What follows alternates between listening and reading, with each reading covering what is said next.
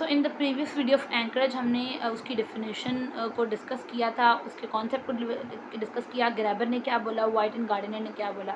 Encourage के बारे में। सो टुडे जो सेकंड लेक्चर है, उसमें हम देखेंगे कि एंकरेज जो है, वो किन सोर्सेज से आती है।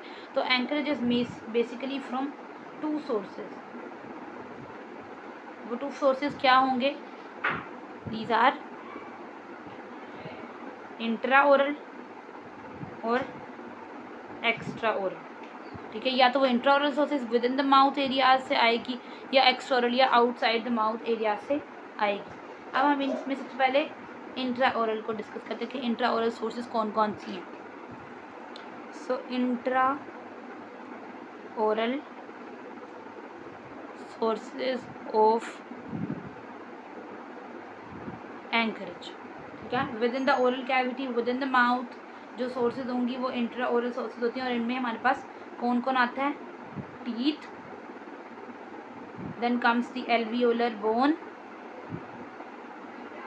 then comes the basal jaw bone jaw की बोन्स जो होती हैं jaw bone and the last one which is the musculature क्योंकि हमारे तमाम एरियाज़ के अराउंड मसल्स प्रेजेंट हैं तो मस्कुलेचर अब हम देखते हैं सबसे पहले टीथ से कैसे एंकरेज आती है। So let's suppose if I draw this and we have a teeth here और इसके पीछे ही हमारे पास another teeth another teeth अब let's suppose the teeth which this one ये move कर रहा है तो ये साइड वाले रिमेनिंग टीथ क्या होंगे ये एज एन एंकरेज एरियाज़ काम करके तो इसका मतलब ये हुआ कि जब भी whenever a teeth is moved orthodontically तो रिमेनिंग टूथ वहाँ पे क्या करते हैं एंकरेज के तौर पर एक्ट करते हैं और उसकी मूवमेंट को रेजिस्ट करने की कोशिश करते हैं। इसका ये मतलब हुआ कि टीथ के अंदर they have an innate capacity innate potential of resisting the tooth movement इसके अंदर एक इन्नेट पोटेंशियल है इन बिल्ट कैपेसिटी है। अब हमारे पास जो इंकरेज सप्लाई करता है टीथ वो आती है within the same arch अगर ये मैं मैं अपर आर्च की बात करें तो within the same arch भी आती है ठीक है? तो अगर मैं विद इन द आर्च उस एंकरेज को ले रही हूँ तो that means it is intra maxillary intra maxillary means within the same arch but if I am driving the anchorage from the opposite arch like one arch is this another arch is this और यहाँ पे teeth लगे हुए हैं, ठीक है? इस तरह यहाँ पे भी नीचे टीथ हैं, ठीक है? तो अगर मेरा नीचे वाला आर्च का टीथ प्रोवाइड करेगा एंकरेज तो वो फिर ओपोजिट आर्च से डिराइव होगी। Now this anchorage is basically called as inter maxillary अगर मैगजिला को एंकरेज चाहिए, और उसको एंकरेज आपका ऑपोजिट आर्च दे रहा है तो it is inter maxillary anchorage ठीक है? अब वो कह रहे हैं कि जो हमारे पास टीथ का जो एंकरेज पोटेंशियल है ना, कि वो कितनी एंकरेज प्रोवाइड कर सकते हैं they depend on certain factors तो we will be writing factors on which teeth potential to provide anchorage depends किन चीज़ों पे या किन फैक्टर्स पे वो डिपेंड करता है? Number one is the root surface area root surface area second one is the root form third one is the size and number of roots कितनी roots हैं ठीक है size and number of roots the next one is the root length कितनी long है ये short है fifth one is the inclination of tooth tooth किस तरफ़ इंक्लाइंड है? इधर it is line labially lingually ठीक है? तो inclination of tooth and the last one is ankylosed tooth ankylosed tooth ठीक है? So root surface area root form size and number of roots root length inclination of tooth and ankylosed tooth ये वो factors हैं जिन पे एक potential depend करता है teeth का कि वो कितना एंकरेज प्रोवाइड कर सकता है। तो हम इनको वन बाय वन देखते हैं। सो नंबर वन पे जो फैक्टर हमने कहा कि वो क्या है? द रूट सरफेस एरिया ठीक है? कि रूट कि, कितना सरफेस एरिया अगर रूट यू नो ज़्यादा एरिया कवर कर रही है या कम एरिया कवर कर रही है ठीक है? So the anchorage provided by the teeth depends on the size of the teeth अगर अगर तो स्मॉलर टीथ है like if there is incisor ठीक है इंसाइज़र आ रहा है, ठीक है, या फिर आपके पास लेट सपोज़ प्री मोलर है, ठीक है, या आपके पास मोलर है तो हम देखेंगे कि इनमें किन का सरफेस एरिया ज़्यादा है। ऑब्वियस सी बात है कि we have more surface area in case of molars यानी उनका भी, उनका साइज़ भी ज़्यादा है कंपैरेटिवली तो इसका मतलब है कि जितना टूथ का साइज़ है, उतना ही उसका रूट एरिया है। अब इसकी रूट भी as compare to this tooth ज़्यादा सरफेस एरिया कवर करेगी। तो दैट मीन्स कि जो साइज़ ऑफ़ टूथ है, वही डिफाइन करेगा कि उस टीथ का रूट एरिया कितना होगा। ठीक है? द लार्जर द रूट जितना ज़्यादा सरफेस एरिया होगा टूथ का ठीक है? तो फिर उससे ग्रेटर एंकरेज आएगी एज़ कंपेयर अगर लेस सरफेस एरिया है ऑफ़ टूथ का तो उससे लेसर एंकरेज आएगी क्योंकि उसकी रूट भी कम होगी। सो सिंपली इट मीन्स कि जितना ही second factor is root form अब रूट फॉर्म के ऊपर बहुत ज़्यादा पोटेंशियल टीथ का डिपेंड करता है एंकरेज प्रोवाइड करने के लिए, क्योंकि रूट फॉर्म के अंदर ही हमें क्रॉस सेक्शन मिलते हैं। कौन कौन कौन से फैक्टर्स हैं? वो हमारे पास आ जाते हैं। Round,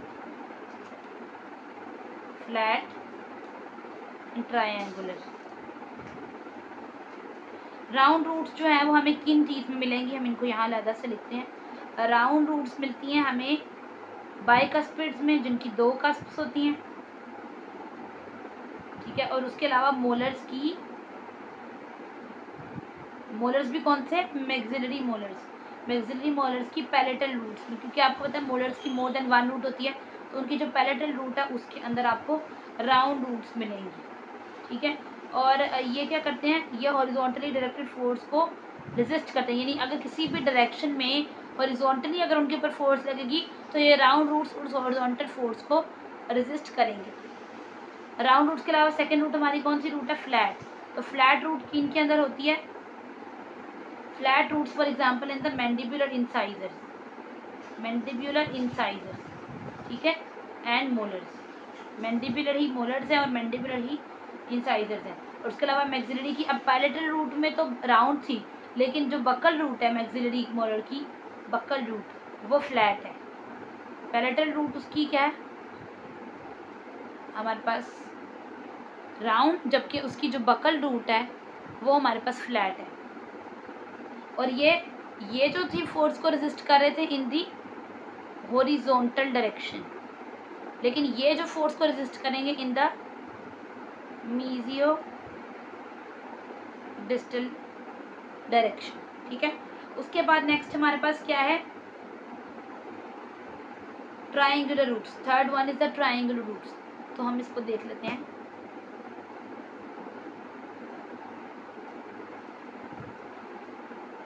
ट्रायंगुलर ट्रायंगुलर रूट्स के अंदर क्या होता है? केनाइंस के रूट्स जो कि कस्पिड्स होते हैं केनाइंस के रूट्स ठीक है? और उसके अलावा मैग्जिलरी लेटरल और सेंट्रल इंसाइजर्स क्योंकि मैंडिबुलर इंसाइजर्स में तो फ्लैट है ना, ठीक है? चाहे मैंडिबुलर वो सेंट्रल हो या लेटरल हो, उन दोनों में ही हमारे पास फ्लैट रूट है। जबकि मैग्जिलरी सेंट्रल प्लस लेटरल में ट्राइंगुलर रूट है, ठीक है? और ये जो हमारे पास मैक्सिमम रेजिस्टेंस ऑफर्ड करता है as compare to the round flat round और फ्लैट के कंपैरिजन में सबसे ज़्यादा जो मैक्सिमम रेजिस्टेंस है ना, वो ट्राइंगल रूट्स ऑफ़र करती है, ठीक है? So we are done with root form next हमारे पास है साइज़ और number of roots so thirdly we have size and number of roots देखो साइज़ रूट में उसमें क्या देखो? मल्टी रूटेड टूथ भी होता है, जिनकी मोर देन वन रूट होती है, ठीक है? या फिर वो रूट जिसकी लार्ज रूट मतलब वो टूथ जिसकी लार्ज है या तो उसकी मल्टी रूटेड हो या लार्ज हो तो उसके अंदर ज़्यादा एबिलिटी है more ability to withstand the stress stress को बेयर करने की ज़्यादा, क्योंकि उसकी जब फोर्स लगेगी तो ज़्यादा सरफेस एरिया रूट का अवेलेबल है, ज़्यादा रूट्स अवेलेबल हैं to withstand that forces ठीक है? तो स्मॉल के कंपेरिजन में मल्टी रूटेड या लार्ज रूटेड में हमारे पास as compare to the single rooted too ज़्यादा एबिलिटी है स्ट्रेस को बेयर करने की। फोर्थ वन फैक्टर है रूट लेंथ ठीक है? रूट लेंथ में क्या है? कि फिजोलॉजिकल कंडीशंस में नॉर्मल फिजोलॉजिकल कंडीशंस में फ़ंक्शन कंडीशंस में जो हमारे पास रूट लेंथ है, उसका मतलब है कि depth to which a tooth is embedded in the bone क्योंकि हमें पता है कि अगर मैं let's suppose if I draw this ठीक है, ये क्राउन पोर्शन और नीचे रूट पोर्शन नीचे जाके यहाँ रूट्स हैं। ठीक है? और नीचे नीचे एलवियोलर बोन है। तो रूट लेंथ का मतलब है कि टूथ कितना जो है इस बोन के अंदर एम्बेड होगा। How much tooth will be embedded in this bone so will write it कि इन नॉर्मल फिजोलॉजिकल कंडीशन ये बताता है या डिपेंड करता है कि how much depth to which a tooth is embedded in the bone ठीक है? अच्छा और उसके बाद ये है कि यही हमारे पास जो है वो डेप्थ अगर ज़्यादा है तो वो फिर जब जितना ज़्यादा रूट बोन के अंदर है उतना स्ट्रॉन्ग वो कनेक्टेड है तो उसके अंदर ज़्यादा एबिलिटी है स्ट्रेस को बेयर करने की या डिस्प्लेसमेंट को रेजिस्ट करने की। क्योंकि अब बोन के साथ उसका कनेक्शन ज़्यादा है तो बोन उसको होल्ड करके रखेगी टूथ को और मूव नहीं होने देगी। Fifth one factor is inclination of tooth tooth की इंक्लिनेशन एक्सल इंक्लिनेशन टूथ की जो है, वो बहुत ज़्यादा you know important assess assess करने में उसकी वैल्यू यानी उसकी एंकरेज कितनी होगी. ग्रेटर रेजिस्टेंस टू डिस्प्लेसमेंट होती है जब आपका टूथ जो है, वो अपोजिट डायरेक्शन में, उनकी अपनी एक्सल इंक्लिनेशन से अपोजिट लेट सपोज़ एक्सियली अगर मैं कहूँ, एक टूथ एक्सल इंक्लिनेशन में पड़ा हुआ है, ठीक है? अगर वो इस एक्सल इंक्लिनेशन के ऑपोजिट मूव करता है, ठीक है तो क्या होगी? ग्रेटर रेजिस्टेंस ऑफ़र होगी। अगेन आई एम रिपीटिंग के डिस्प्लेसमेंट के अगेंस्ट ग्रेटर रेजिस्टेंस कब ऑफ़र होती है? जब फोर्स जो कि टीथ पे लगेगी, उसकी डायरेक्शन जो है वो ऑपोजिट होगी, उसकी एक्सल इंक्लिनेशन से, ठीक है? तो यहाँ फोर्सेस की ये डायरेक्शन है कि फोर्स जो है वो ऑपोजिट लग रही है to the axial inclination of tooth तो तब ज़्यादा आपके पास रेजिस्टेंस ऑफ़र होगी टू डिस्प्लेसमेंट जैसे कि मैं एग्जांपल में दे देती हूँ। फॉर एग्जांपल अगर एक टूथ मीजली ज़्यादा इंक्लाइंड है तो मैं उसके मीजली लगाऊँगी तो वो रेजिस्टेंस उतनी ऑफ़र नहीं होगी जितना मैं उसके डिस्टली लगा के उसको रेजिस्टेंस दे सकती हूँ। तो ऑपोजिट फोर्स लगनी चाहिए। एक्सिल इंक्लिनेशन के ताकि ज़्यादा रेजिस्टेंस ऑफ़र हो।